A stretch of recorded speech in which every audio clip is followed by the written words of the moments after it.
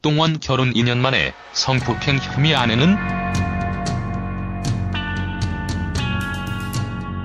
넥센 히어로즈 선수인 박동원이 성폭행 혐의를 받고 있는 가운데 기혼 사실이 알려지면서 더 큰 논란에 휩싸이고 있습니다.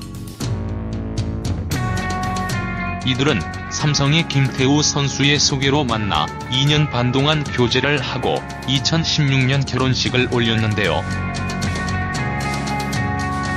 1990년 4월 7일 생으로 박동원은 현재 넥센 히어로즈 소속의 포수로 23일 인천 남동경찰서에 중간간 혐의로 같은 소속사인 조상과 함께 수사에 진행 중입니다.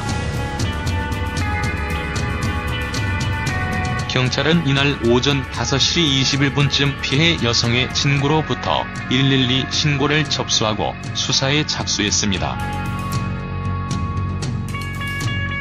피해 여성의 친구는 경찰의 친구가 술에 취해 정신을 잃은 상태에서 성폭행을 당했다. 라고 주장했는데요.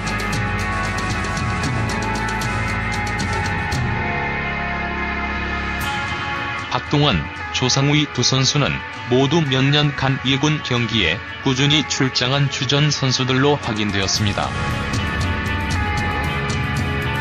넥센 측에서는 성폭행 혐의로 경찰서에 사건 접수가 돼 숙소에서 조사를 받은 두 선수는 조사 과정에서 관련 혐의에 대해 강압이나 폭력은 일체 없었다고 밝혔다라고 전했습니다.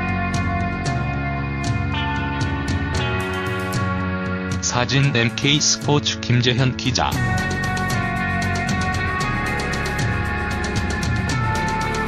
넥센 측은 두 선수의 혐의에 대해 차후 추가 조사를 위해 엔트리에서 제외하겠다고 밝혔습니다. 각각의 주목받고 있는 선수들인 만큼 팬들의 실망 섞인 목소리도 있는데요. 그중 박동원은 2년 전 결혼한 아내까지 있어 그 이목이 집중되고 있습니다. 박동원 아내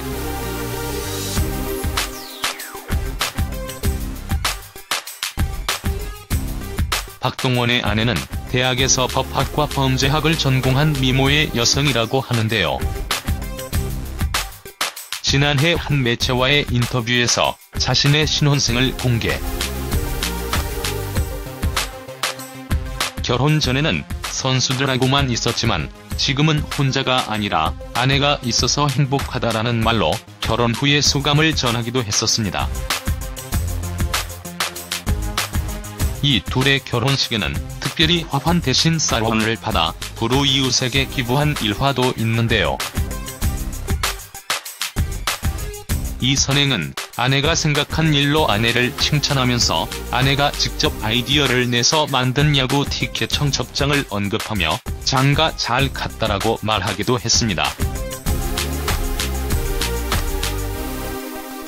이에 네티즌들은 아내만 불쌍하다, 똑똑한 아내 만나 잘 사는 것 같더니만 등 여러 비난의 목소리가 나오고 있는데요.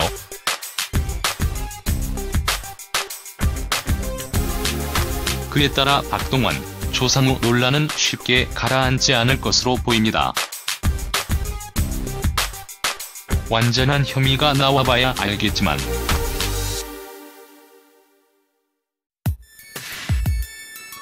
강압이 있던 없던 프로야구 결혼한 선수가 성폭행 혐의라.